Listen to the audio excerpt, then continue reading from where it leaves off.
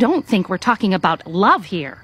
We're talking about S-E-X in front of the C-H-I-L-D-R-E-N. Sex Cauldron? I thought they closed that place down.